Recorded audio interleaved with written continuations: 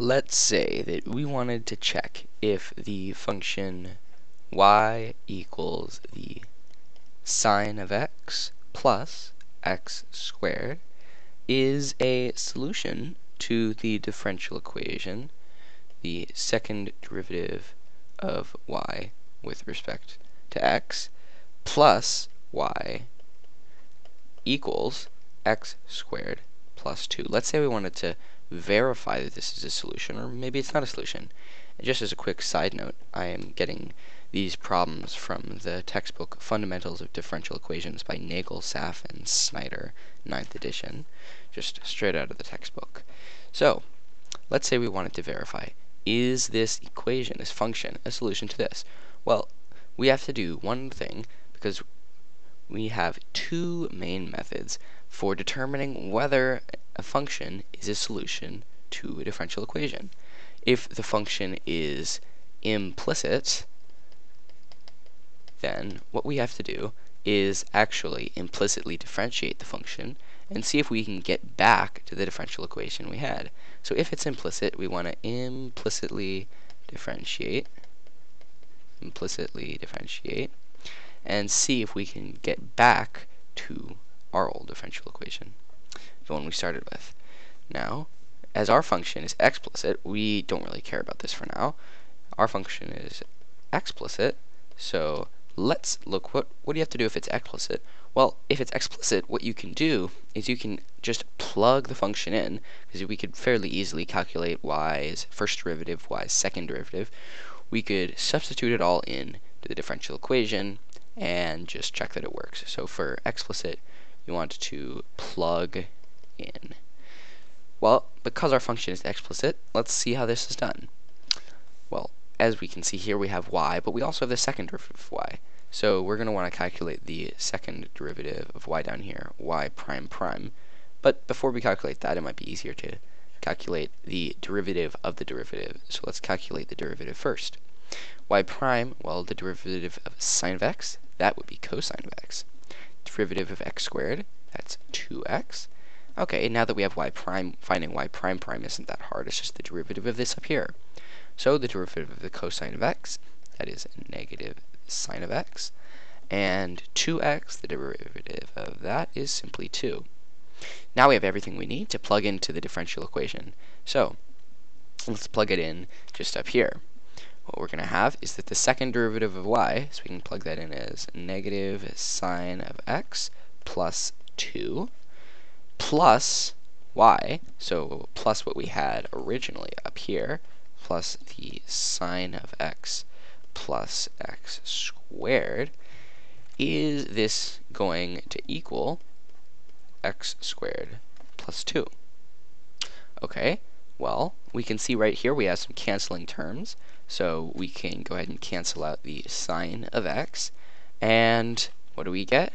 Well, we get that 2 plus x squared equals x squared plus 2. Now this is clearly true. The left hand is equal to the right hand side of the equation.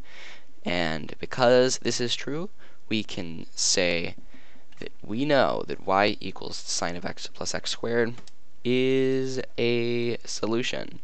We just verified it. It turns out to be a solution. This is a big green check mark. Alright, that is how you verify the solution if your function is explicit.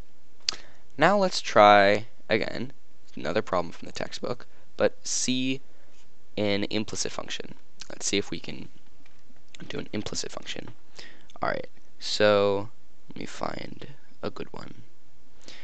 Alright, this one says, show that y squared plus x minus 3 equals 0 is a solution to solution to the differential equation dy dx equals negative 1 divided by 2y. So, well, technically, we could make this implicit we could go on our way and say, okay, y squared equals 3 minus x. And we could take the square root, say y equals plus or minus the square root of 3 minus x. We could solve this for the plus case, the minus case, and we could verify if it was a solution or not. But this is not what we want to be doing. Because let's say we had a function that looked more like uh, y to the power of e to the power of the uh, e to the e to the 313 minus x sine of the cosine of e to the 1200. Let's say we had a function like this. This equals 2.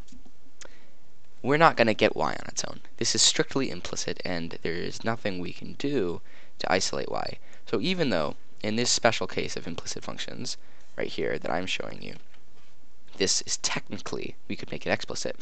It's going to be good practice for solving it if it truly was an implicit function that we could not isolate y.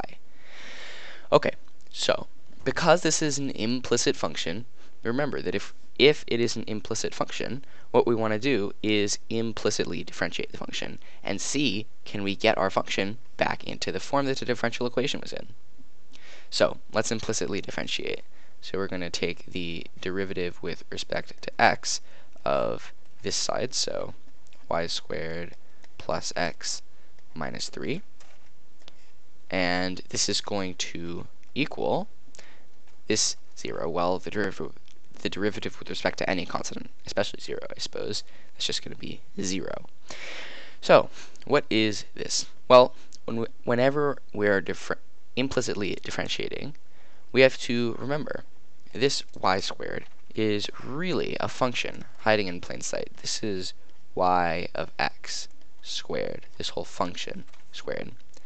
And when we phrase it like this, it looks a lot more like the chain rule. So the derivative with respect to x of a function squared is going to be, well, first let's take care of the squared part. So this is going to be 2 times the function as is. But now we have to remember the chain rule. We have to take the derivative of the inside.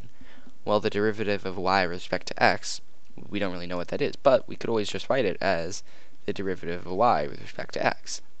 So now we have this, and well, this is going to be fairly simple. The derivative of x with respect to x, that's 1. And the derivative of negative 3, any constant for that matter, just going to be 0 plus 0 equals 0.